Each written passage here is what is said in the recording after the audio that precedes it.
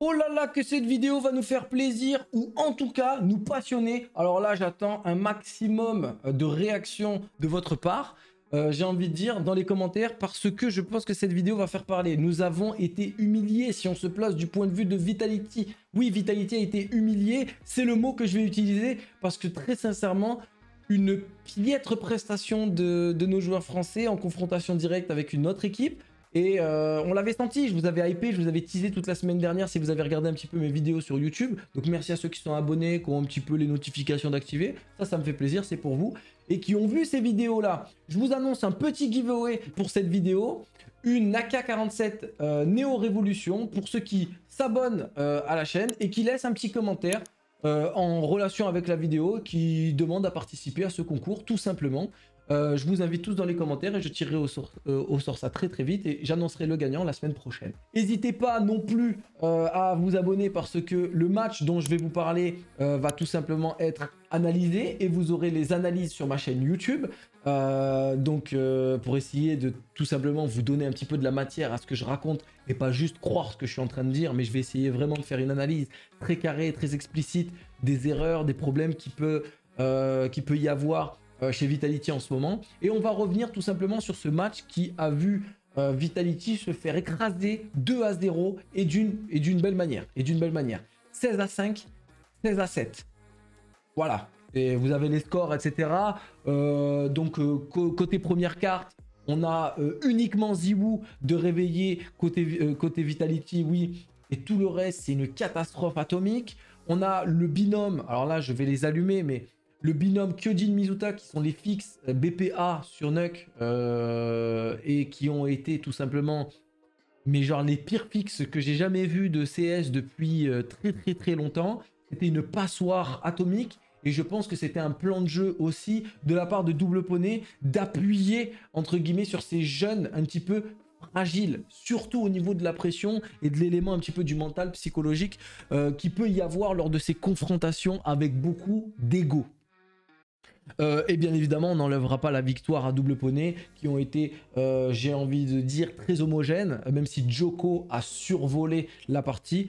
Ils ont été vraiment excellents. Euh, les cinq joueurs ont mis des clutches incroyables, que ce soit Body, que ce soit Lucky, Afro était très bon, Sniper et tout. Franchement, c'était un très très beau match. Je vous invite vraiment à aller regarder l'analyse que je vais faire, qui va sortir sur ma chaîne, parce que vous allez en apprendre beaucoup. Côté Inferno derrière, qui est euh, bah, le pic euh, euh, de, Vitality, et ben là, même constat, sauf que Ziwu, même lui, a décidé de jouer l'écran éteint. Même lui. Ça veut dire que, encore sur Nuck, il y avait Ziwu qui était tout seul et le reste de l'équipe qui était catastrophique. Là, on a les 5 qui sont extrêmement mauvais. Ne vous fiez même pas au score avec Apex, Shox qui ont 10-12 kills en premier. Tout le monde a été inefficace et s'est fait totalement, mais totalement annihilé. Et euh, côté double poney, c'était une très très belle partie. Euh, encore une fois, euh, je vous invite à aller regarder les analyses, mais déjà rien qu'au niveau des statistiques et au niveau des scores, vous voyez une domination écrasante de la part de double poney.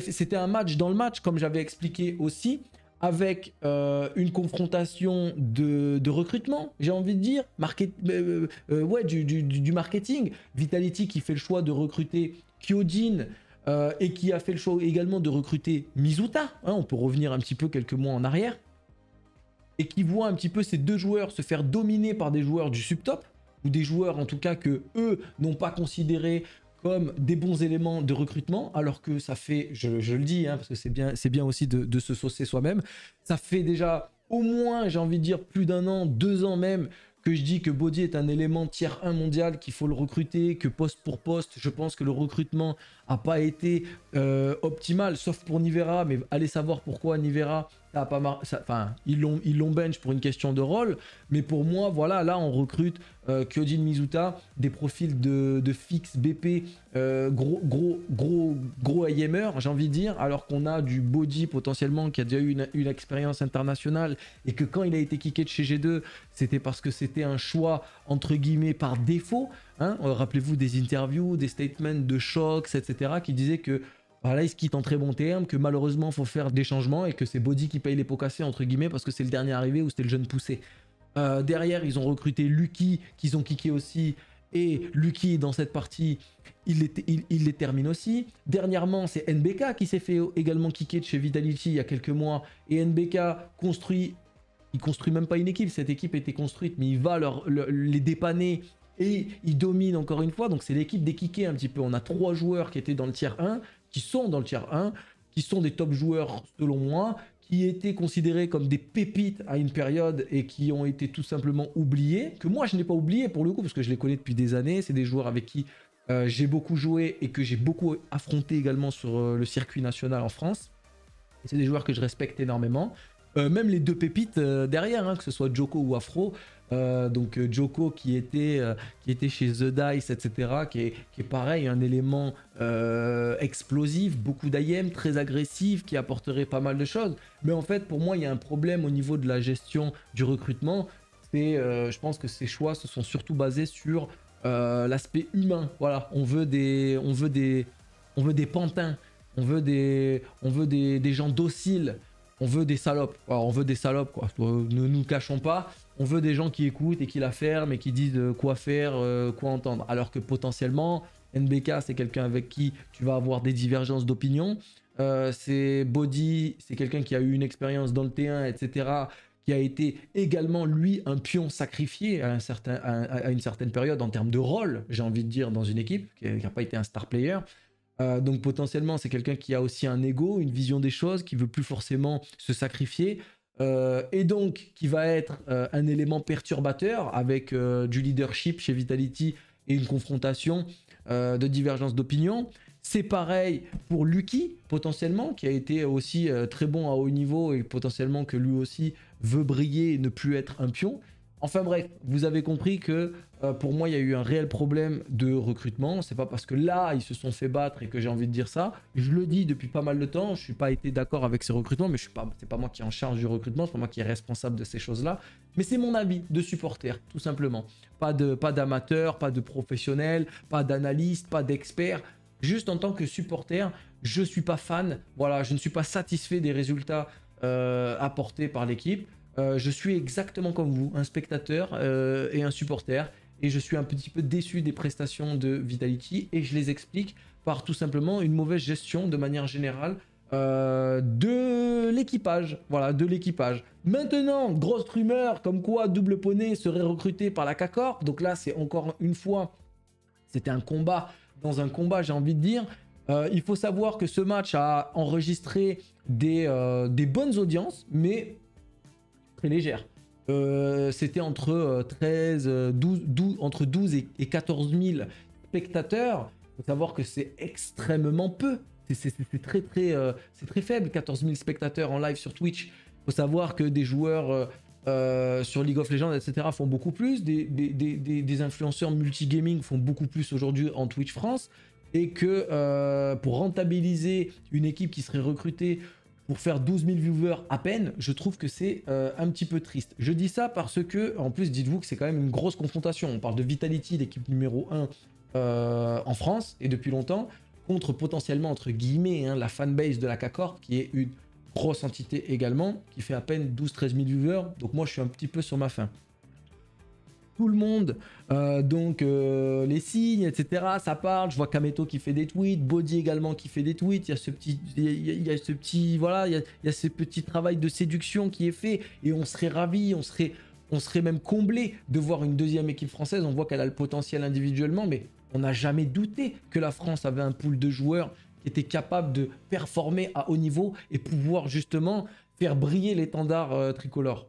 On n'en a jamais douté, mais je pense pas malheureusement que ce soit un choix judicieux de recruter euh, ces joueurs-là en termes de rentabilité, étant donné le manque de stabilité en France et surtout, et surtout cette équipe n'a absolument aucune fiche, aucune ligue dans lesquelles elle est euh, implantée pour pouvoir justement dire nous sommes sur le tiers 1 euh, mondial de manière stable. Quand on parle de Vitality, ils sont en ESL Pro League, ils sont partenaires ESL, DreamHack, ESEA, etc. Donc ils sont invités directement dans les événements, donc on les voit constamment dans les gros tournois, alors que justement là pour le coup Double Poney a dû se qualifier à cet événement et ça a été extrêmement difficile. Ils ont chopé la cinquième place, la dernière et cinquième dernière place qualificative à l'événement. Euh, donc c'est pas sûr qu'ils soient invités euh, dans des grosses ligues, etc. Et donc peu de visibilité parce qu'ils vont jouer systématiquement des qualifieurs contre des équipes de moins prestigieuses qui ont beaucoup moins de, visibilité et donc il va apporter beaucoup moins d'argent tout simplement. Donc en termes de rentabilité, des joueurs comme ça qui ont ce niveau-là et pas forcément le même niveau d'audience et de réputation, c'est un petit peu le problème. Alors je serais comblé et ravi euh, de voir euh, une, structure comme la CACOR investir sur CSGO, recruter ces joueurs-là, mais ça me semble un petit peu difficile parce que là on parle de business, donc on parle de chiffres, on parle de rentabilité, on parle d'argent, et quand on a l'aspect de l'argent, est-ce que vous recruteriez, vous, des joueurs qui vous coûteraient des centaines de milliers d'euros annuellement, bien sûr, qui ne sont absolument pas qualifiés à tous les événements et surtout qui ont une fanbase quand même très petite. Faut pas, faut, faut pas le nier. C'est-à-dire que euh, Joko, Afro, c'est des joueurs qui ont moins de 2000, 3000 followers, euh, je pense. C'est pas des gens qui streament, ils ont très peu de visibilité. Body, a quand même une réputation, enfin une, visibilité due à sa réputation d'être allé chez G2, etc., qui est internationale. Donc, euh, pas forcément tout le monde le connaît, même si euh, il est très connu, mais il n'a pas 200, 300, 400 000 followers sur Twitter, lui non plus. C'est pareil un petit peu pour Lucky. Lucky est quelqu'un d'extrêmement discret, donc en termes de visibilité, c'est pas lui non plus qui sera un petit peu la locomotive de, ce projet-là. Et NBK est chez OG. Peut-être qu'il euh, fait que dépanner cette équipe et il ne sera pas le cinquième joueur de ce projet-là. Et pour le coup, c'est vraiment dommage parce que lui pourrait tirer vraiment vers le haut ce projet-là. Et de toute façon, il l'a déjà fait à sa manière. Il a donné beaucoup de visibilité à ce projet. Il a donné beaucoup de hype également à ces, à ces matchs-là, à ces confrontations. Il a très certainement dû donner un petit peu euh, de son expérience et il a aidé à grandir certains joueurs. Donc voilà, je suis un petit peu triste de parler de ça dans le sens où j'adorerais avoir un gros club euh, signer ses joueurs et, faire briller justement la France. Mais la triste réalité, c'est l'argent. Et en termes de rentabilité, euh, ces joueurs-là euh, n'ont pas une grande visibilité. Et les marques, les sponsors, les, clubs, les dirigeants, les, voilà, les comptables, ils veulent des thunes. Ils veulent des thunes. Et ça, et ça, c'est un élément qu'on ne prend pas assez en compte. Et même si vous êtes hypé par ce projet-là, que moi j'en parle, que ça fait des vues, etc., etc., la réalité c'est que ça a fait à peine 14 000 viewers. Et c'était un pic. Contre Vitality, l'équipe numéro 1, il y a eu énormément de hype. Donc ça veut dire que quand ils joueront contre des équipes inter, il y aura moins de, encore moins de, de viewers. Mettez-vous ça euh, en tête, je pense. Mais j'espère profondément avoir tort et voir euh, Kameto signer ses petits bébés que j'embrasse très fort de toute façon, c'est des gens que j'aime beaucoup. Euh, donc merci infiniment d'avoir suivi cette vidéo, de nous avoir fait kiffer avec ce match. Allez voir mon analyse, abonnez-vous, participez au giveaway, je vous aime, bisous tout le monde.